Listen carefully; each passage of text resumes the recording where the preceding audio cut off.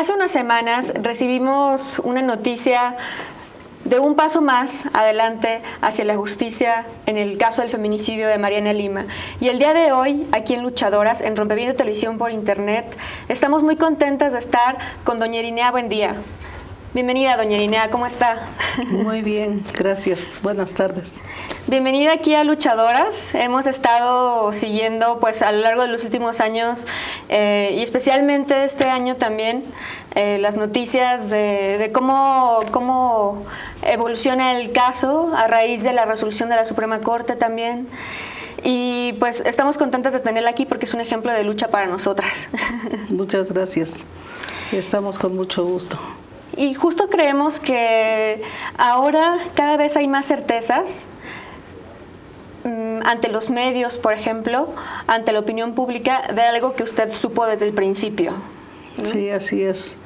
A nosotros el asesino nunca logró engañarnos. Supimos desde que vimos el cuerpo de mi hija acostado en esa cama que él, Julio César Hernández Ballinas, la había asesinado había muchos indicios, había muchas cosas que decían que él había manipulado el lugar de los hechos, el cuerpo de mi hija, todo, absolutamente todo hablaba de que Julio César quería aparentar un crimen perfecto, pero no lo hay todavía. Entonces eso nos llevó a descubrir que, que él era el asesino porque el cuerpo de mi hija hablaba, aunque ya no tenía eh, vida, pero decía que las últimas horas que había tenido de vida habían sido de intenso sufrimiento. Y usted se topó también con una respuesta negativa todo el tiempo. No, fue lo primero que le dijeron.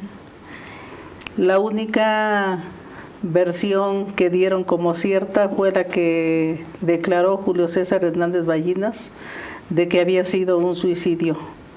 Eh, llegan, la, llegan las autoridades del Ministerio Público a la casa donde mi hija vivía, nosotros ya estábamos allí, habíamos llegado 10 minutos antes y y resulta de que en 10 minutos ellos terminaron de hacer las diligencias y se llevaron el cuerpo, fue lo único que se llevaron, no recogieron evidencias, eh, bueno, ni siquiera el objeto constrictor que era el que según el dicho de Julio César Hernández Ballinas había utilizado mi hija para ahorcarse, ni siquiera eso este, recogieron, todo, absolutamente todo lo perdieron.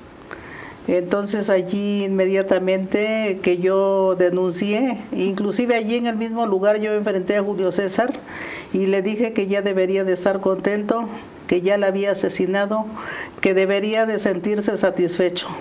Y él en ningún momento negó absolutamente nada. Al contrario, me dijo que iba a quemar el cuerpo de mi hija y que se iba a quedar con las cenizas y yo le dije que no que si no había querido a mi hija en vida, menos lo iba a quemar, ni se iba a quedar con las cenizas porque yo no iba a permitir que lo quemara. Y le dije, ah, pero ya sé por qué quieres quemar el cuerpo de mi hija. Quieres borrar todas las pruebas y vestigios que el cuerpo de mi hija pueda tener y te puedan acusar.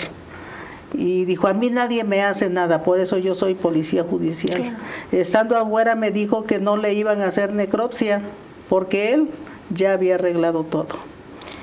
Y justo usted tuvo que enfrentar a un aparato de justicia que permite la impunidad y que se justifica a sí mismo, que no persigue a los culpables.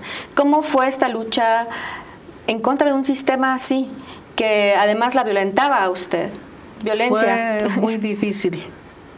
Fue muy difícil porque desde el principio yo denuncié que él había sido el asesino y ni siquiera lo quiso escribir así de esa manera al Ministerio Público. Escribió en contra de quien resulte responsable.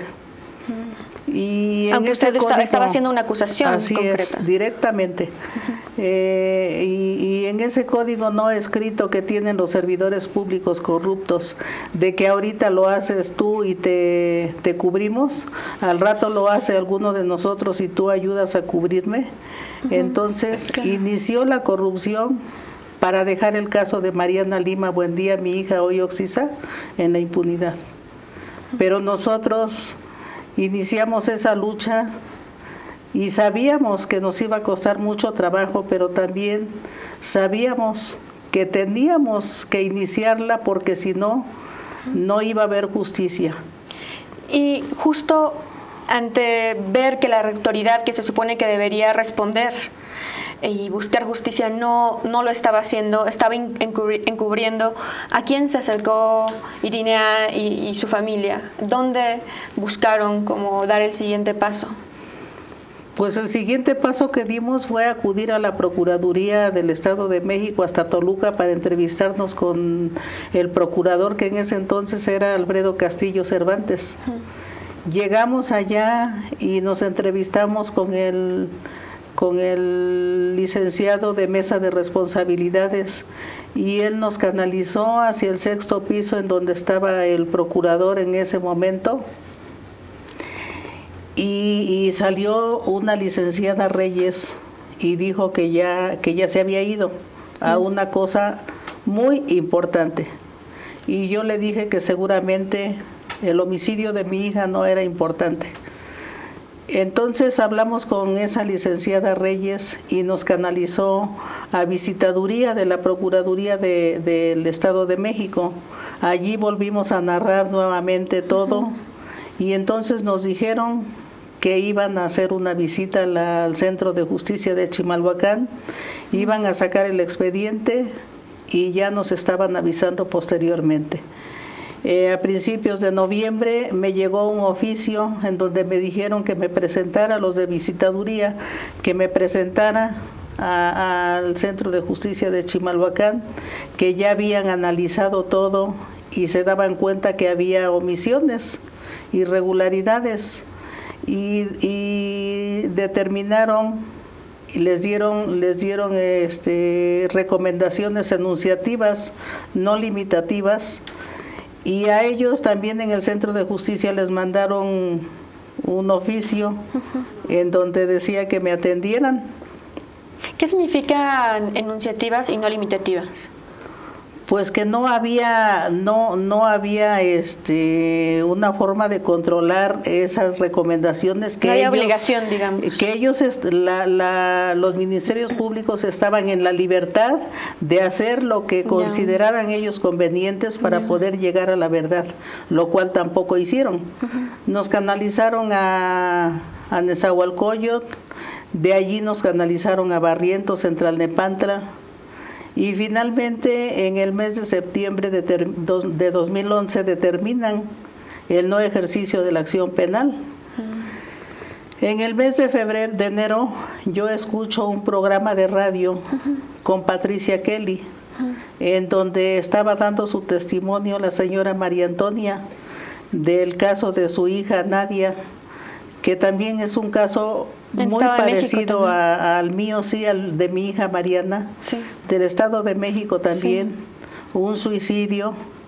Y un supuesto suicidio. Un supuesto suicidio, exactamente. Y, y entonces dieron el teléfono de Católicas por el derecho a decidir. Y yo anoto el teléfono y es como llego yo a Católicas por el derecho a decidir y al observatorio. Allí me empiezan a dar asesoramiento y acompañamiento y de esa manera es como yo llego allí a la, organización.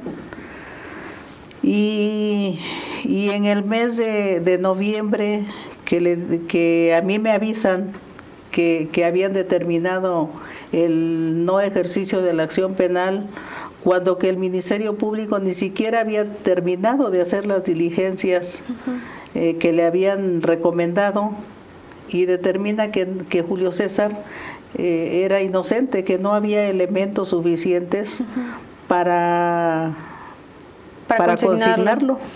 Entonces, en ese momento ya este, yo estaba en el observatorio, ya inician los abogados y abogadas eh, los recursos para poder presentar amparos y empezamos, no pasó nada. Oh, Irina, justo, perdona que le interrumpa, pero quería justo vincular esta experiencia que nos cuenta con la experiencia de otras madres. ha conocido en este camino a otras madres eh, que no cuentan necesariamente con el acompañamiento, por ejemplo, de organizaciones como el Observatorio? ¿Y, cuál, es, su apreciación, conociéndolas a ellas? Eh, no hay justicia en este país si no se cuenta con o recursos económicos o con organizaciones que se dediquen a esto. ¿Están ellas en contra de, este monstruo que es el sistema impune de justicia? pues los casos se quedan en la impunidad. Hay miles y miles de casos que se quedan en la impunidad. Yo conocí a muchas madres de víctimas de feminicidio y, que desgraciadamente no muchas veces por la cuestión económica no pueden tampoco buscar justicia porque si tienen hijos pequeños también tienen que enfocarse en una cosa o en otra. Afortunadamente para mí, en mi caso, yo no tengo ya hijos pequeños, ya todos mis hijos se valen por ellos mismos y mis hijas también. Entonces ya no tengo yo ese problema de que, de que tenga yo que estar atendiendo hijos pequeños. Y de esa manera es como los casos van quedándose en la impunidad por una cosa o por otra, por la corrupción. Regularmente es la corrupción que genera impunidad. Y también usted ha buscado otras formas de exigir justicia fuera del sistema, como con actos simbólicos en las calles, eh, en el Bordo Xochiaca, en Chimalhuacán. Vamos a ver un video de una acción que hubo recientemente, apenas el mes pasado, en mayo, para reinstalar unas cruces eh, que usted colocó al, borde del canal justo para exigir eh, la memoria y eh, contra el olvido. Y después volvemos para que nos platique un poco más acerca de esto. Sí. Vamos, vamos a ver el video.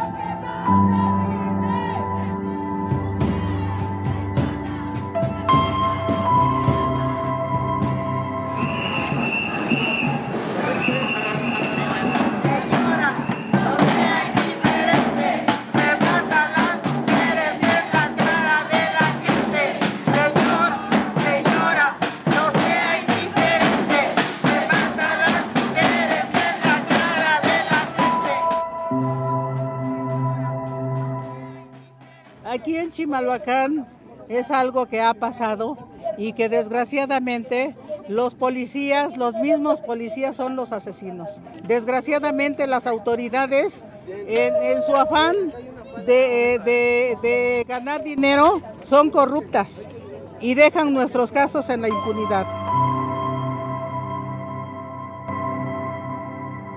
¿Por qué las ponemos en este lugar? Porque aquí en el canal han sido arrojadas muchas mujeres asesinadas. Hace 15 días allí abajo del puente apareció una mujer quemada. Aquí a dos cuadras asesinaron a balazos a otra mujer. Esto no se ha terminado, esto sigue y sigue en aumento. Nosotras seguimos en riesgo ante la inacción del Estado.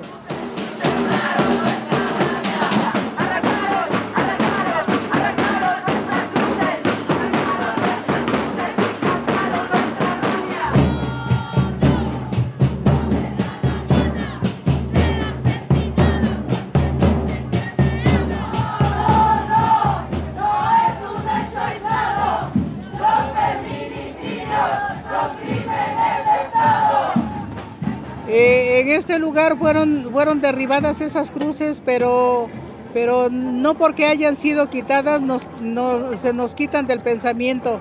Nosotras siempre llevamos en el pensamiento a nuestras hijas porque son parte de nuestra vida, son parte de nuestra memoria. Y en la Ley General de Víctimas así lo contempla, la reparación del daño. Y la presidenta municipal tiene que respetar estos símbolos, porque no son de ella ni ella los puso son nuestros y pertenecen a la memoria de nuestras hijas asesinadas ante la incompetencia de, la, de las autoridades que en nuestros casos siguen en la impunidad.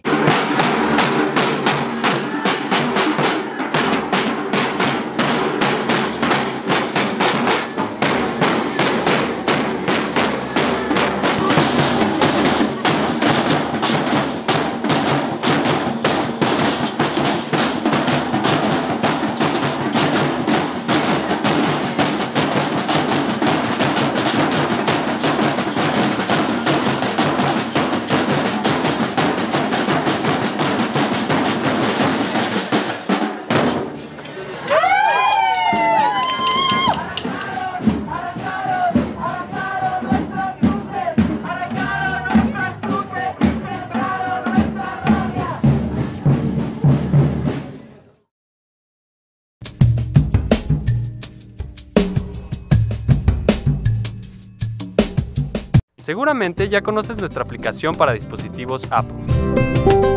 Ahora, puedes contarle a un amigo que ya tenemos la versión para Android. Coméntanos en Facebook. Síguenos en Twitter. Consulta nuestro canal de YouTube desde la aplicación o contáctanos por correo electrónico. Descarga Rompeviento. Disponibles en App Store y Google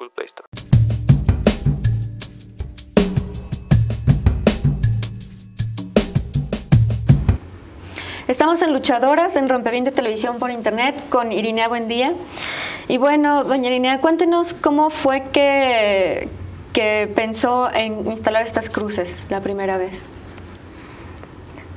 Pues la primera vez que se me vino a la cabeza esa idea de colocar esas cruces fue porque yo lo que quería y lo que sigo queriendo es que se visibilice el contexto de violencia que hay en Chimalhuacán y en todo el estado de México, en donde donde ha habido muchas mujeres asesinadas, 10 veces más que en Ciudad, Juárez. Y realmente las autoridades quieren invisibilizar el contexto de violencia que las mujeres vivimos allá en Chimalhuacán. Yo me, junto con otras personas que me han acompañado, nos hemos puesto en contacto con la comunidad y desgraciadamente hay mucha, mucha inseguridad. Las personas, la mayoría de personas desconocen sus derechos y desgraciadamente pues las autoridades no se preocupan por eso. La policía municipal, que es la primera que tiene contacto con la comunidad, en vez de de cumplir con la obligación de proteger a la misma comunidad y al pueblo, se dedican a hacer lo que quieren, a detenerlos en el momento que quieren, e inclusive allí pues muchos policías han asesinado mujeres. Entonces nosotros nos hemos acercado a la comunidad más que nada para invitarlos a que se visibilice ese contexto de violencia que hay, colocando esas cruces para que se den cuenta el riesgo que, que corren este, como mujeres, sus hijas, las niñas, en esa desaparición este, que hay también de mujeres y de niñas jovencitas. Eh, para que ellas estén al pendiente de todo y que formemos esas redes más que nada de protegernos, ya que el Estado no quiere hacer nada. Ha sido una lucha de seis años y nos contaba cómo llegó a, trabajar y a compartir lo que sucedía con el Observatorio Ciudadano del Feminicidio. ¿Cuáles han sido los momentos en estos seis años que le han dado más fuerza o esperanza para seguir? Mm, yo llego al observatorio y a católicas y ellas son las, este, las que me empoderan. Yo realmente desconocía todo. Nosotros nunca habíamos tenido una situación, nunca habíamos vivido una situación con un problema así. Entonces, igual que todas las personas allá en la comunidad, eh, desconocíamos nuestros derechos. Entonces, ellas son las personas que me empoderan, ellas son las personas que me asesoran, que me dan acompañamiento y para mí fue haber encontrado una puerta abierta a la esperanza.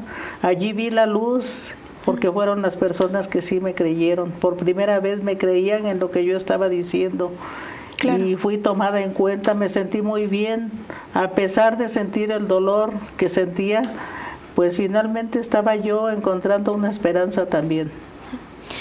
Y justo eh, yo creo que también su lucha es un mensaje para otras mujeres que están enfrentando también situaciones de impunidad, que desconfían de su dicho, que se les culpabiliza, no se investiga, ¿Qué, cree que, qué, mensaje quisiera compartir con otras mujeres y madres eh, que pudieran estar eh, también sintiéndose tal vez en algún momento sin herramientas para seguir? Yo el mensaje que les quiero dar a todas las mujeres que vean este programa, de que, de que sí se puede, sí se puede revertir un caso. Afortunadamente el caso de nosotros llegó a la Suprema Corte. Gracias al observatorio, a las católicas, a Justicia, Derechos Humanos y Género, a Justicia Pro Persona y a muchas organizaciones y personas que nos han apoyado.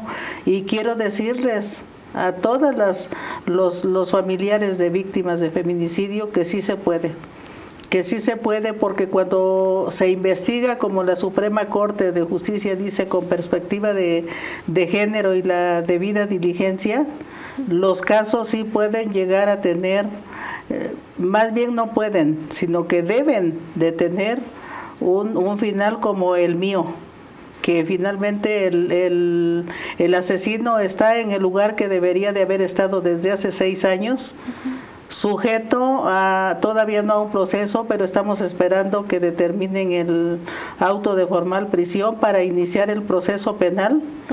Gracias a, los abogados y abogadas de, del observatorio.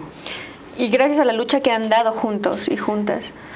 Eh, una pregunta. Em, el caso eh, que ustedes han estado peleando por él eh, y la resolución que emite la Suprema Corte es paradigmático, es decir, eh, implica que puede tener efectos también en la forma en que se resuelven y se investigan otros feminicidios eh, en el país.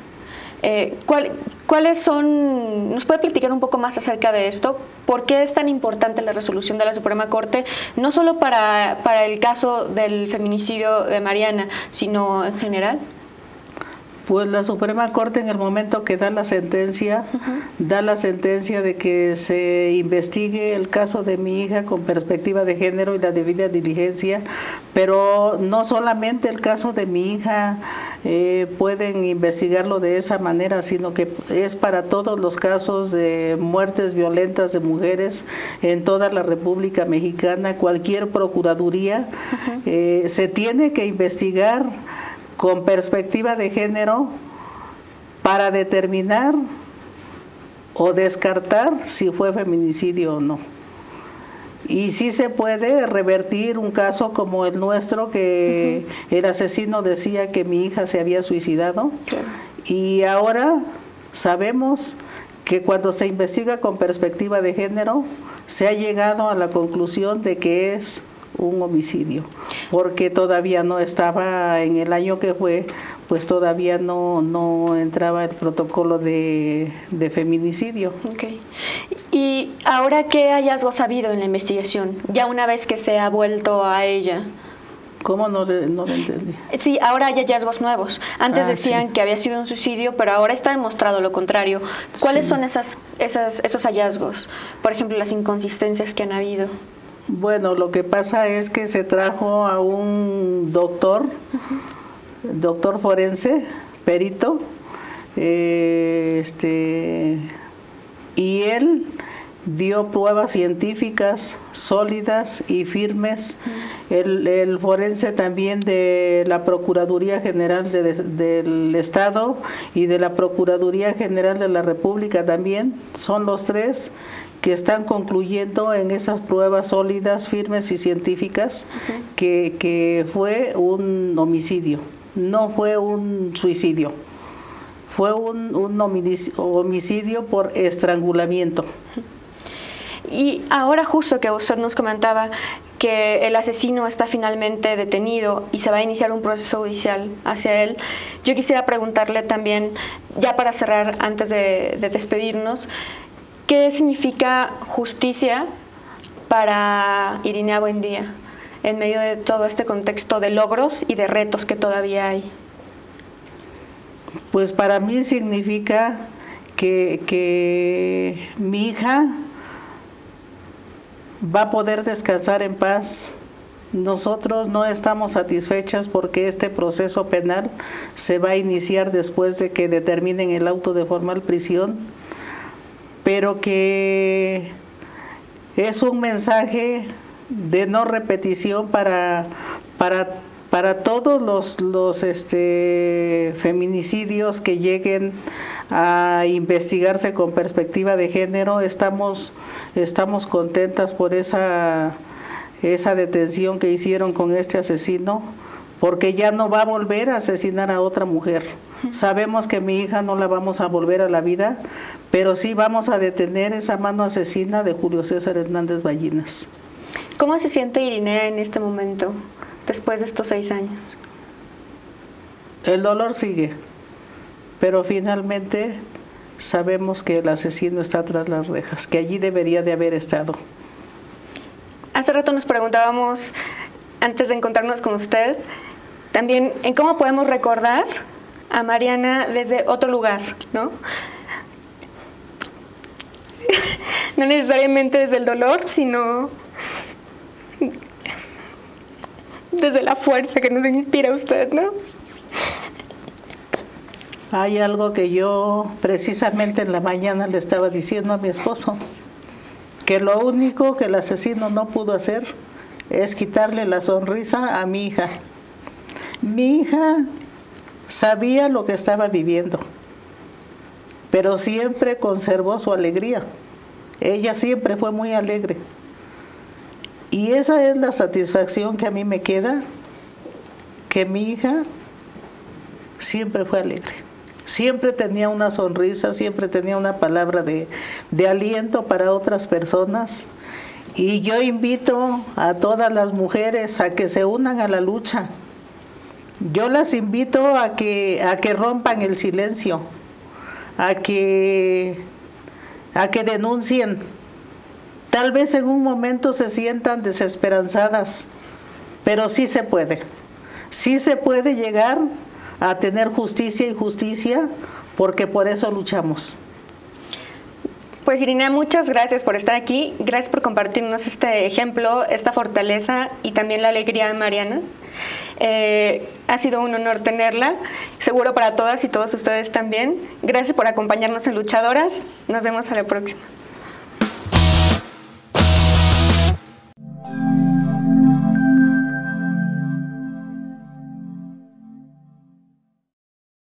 Los derrotados son los que dejan de luchar. Y dejar de luchar es dejar de soñar.